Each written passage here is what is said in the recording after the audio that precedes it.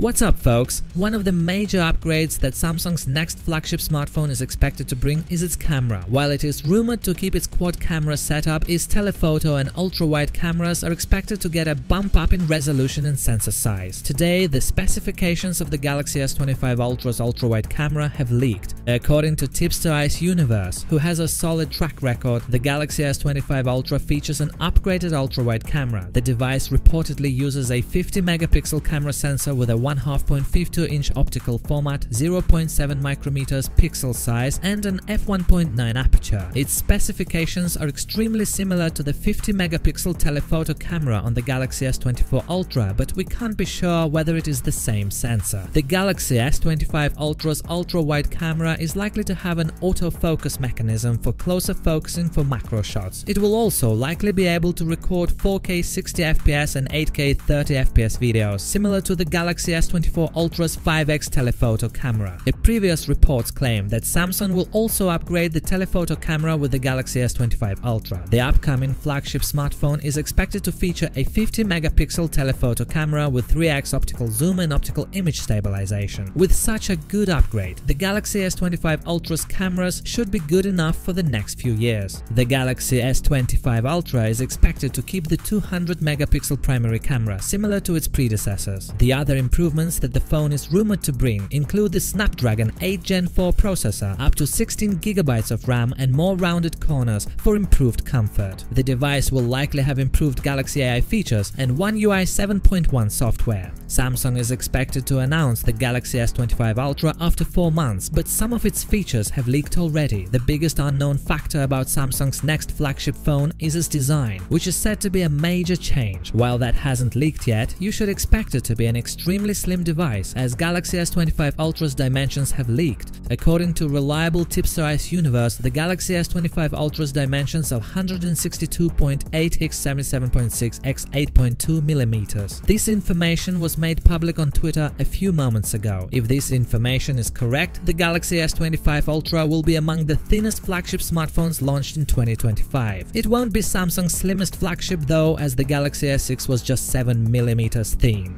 Here is the comparison comparison of the dimensions of all Samsung flagship smartphones released over the past 5 years. Expect the device to feature titanium side rails and some form of Gorilla Glass on the front and the rear. It will likely have dust and water resistance and an in-display fingerprint reader. The tipster also revealed that Samsung will continue to use 45 watts fast charging for the Galaxy S25 Ultra similar to the Galaxy S20 Ultra which was launched in 2020. Moreover, the upcoming phone will also have the same 5000 mAh hour battery capacity as its predecessors. Samsung doesn't appear to be thinking about any battery hardware upgrades for next year. It is impressive in itself that Samsung has managed to make the phone thinner despite upgrading the cameras. The device will run Android 15 based One UI 7.1 software out of the box and get 7 years of Android OS updates. Anyway guys, we will keep you updated. Thanks for watching, see you in the next one.